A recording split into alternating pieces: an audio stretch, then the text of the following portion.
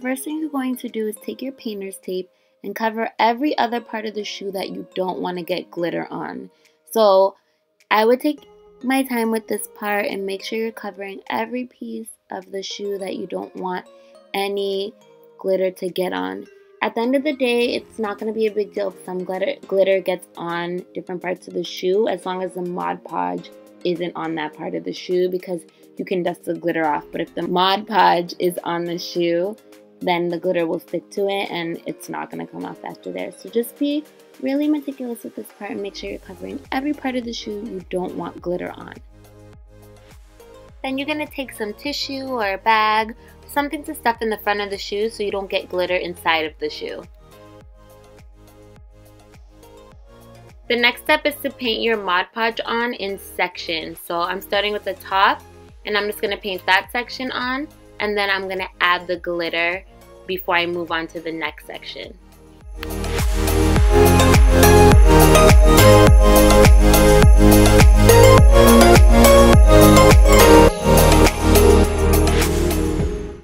About the Mod Podge is when you're painting it on, you can go over other parts that have glitter on them already.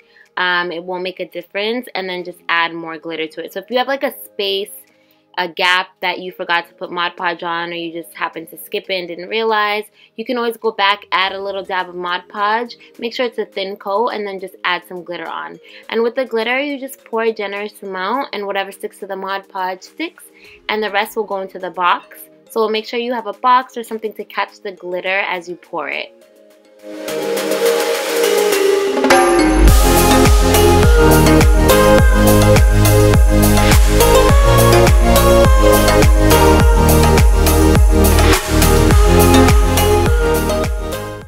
I let the shoe sit for about three or four hours before I am going on to this next step. So make sure you allow the glitter to dry onto the Mod Podge. Um, it says you need about two hours. I always like to give it a little bit more, even if you could wait till the next day. As much time as possible before you go on to the next step. But if you give it two to three hours before you go on to the next step, that's all you really need.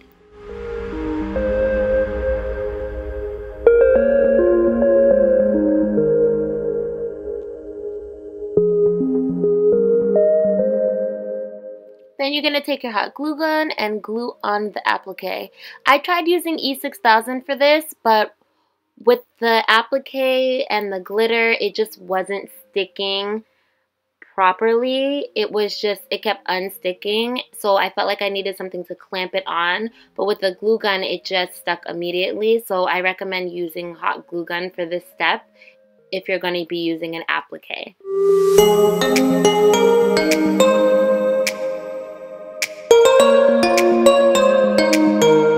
And then I'm going to use the E6000 to glue on my rhinestones. These are rhinestone stickers that I found at Michael's. They look the same and they do the trick. They do have, they are stickers, so they are sticky on the back already, but I just wanted to make sure and solidify that they would stay on by using the E6000 glue.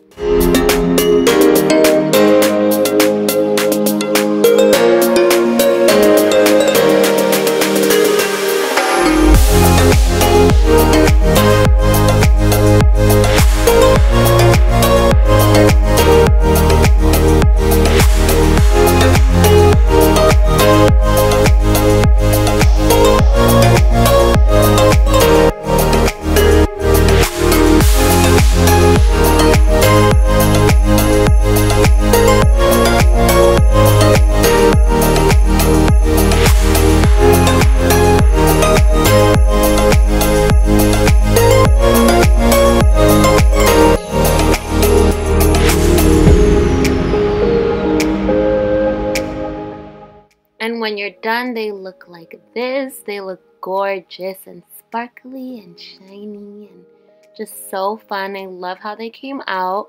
I really love the glitter and how it just makes the shoe pop. I'm kind of obsessed with these ones, guys. If you like how these ones came out too, give them a thumbs up. Share it with your friends and don't forget to subscribe. And if you try it, I want to see it. I'll see you guys next time.